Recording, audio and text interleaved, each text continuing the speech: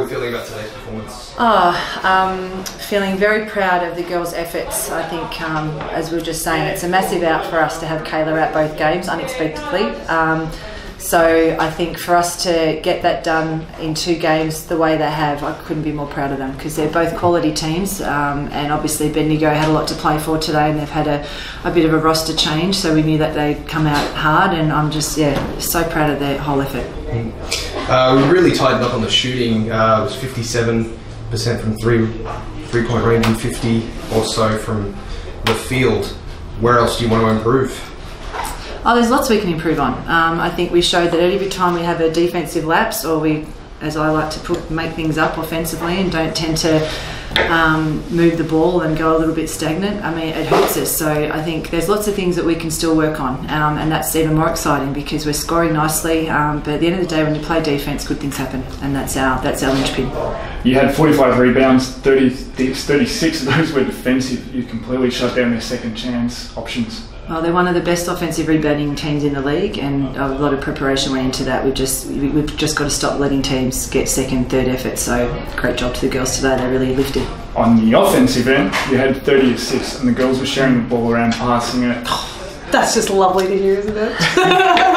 Uh, yeah, absolutely. Proud mum. it's yeah, so much work goes into that, but I think the girls are actually having fun out there together. They're um, very selfless, happy to give up the ball, happy to give up an okay shot and get a better one. And really, it's I mean, you, it's nothing technical. It's just playing like a team. Yep. Sara, what was it like being back?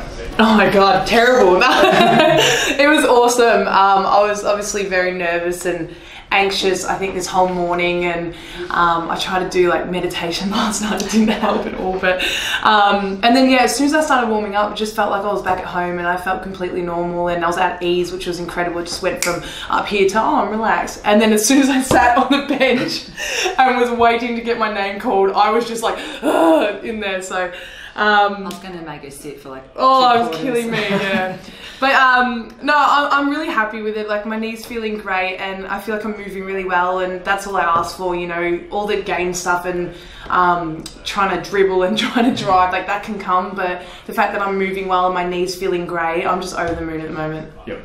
You've received support, obviously, a lot from Yeah. the teaming side, but Amy Clydesdale tweeted you through the week. What's it like the response been from the girls around the league? Oh, it's incredible. And uh, Jayco Rangers have been posting video after video as well of all my friends. And obviously, because WNBL, you know, you're frenemies, but you, you're great friends on court, you're enemies. But um, I've got heaps of best friends around Australia, and for them to all, you know, send me messages and um, support. And because like, to me, it's just an injury. And I'm like, oh, so what? I'm coming back. But I guess it's affected a lot of people as well. And I just have like the most loving family and friends and supporters and good people in my life. And I'm just so grateful for that.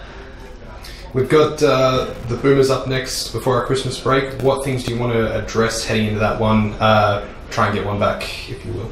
So we've got Canberra on Friday night in a really tough Yep. battle, so that's our focus right now. and then, um, yeah, obviously we owe Melbourne um, one, but really it's about we're I think I believe we're officially in the four as um, as of now, so which is really exciting. And the girls have worked really hard for that. Um, so Canberra's our focus. Um, they got us on that um, first one on a on a double, so now we've got to go in there on Friday night and get it done. So um, nothing changes. We keep working on what we need to work on. I think we're playing a really exciting, good quality brand of basketball right now. We're playing like a team. Um, they're a great, very deep quality team.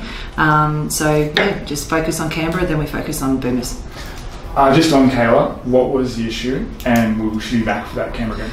Um, just a bit of a back thing going on, um, so hopefully she'll be right for Friday. Um, so yeah, just a day by day thing. So we'll do all we can, but um, obviously there's improvements, but we weren't going to risk her today. Fair enough.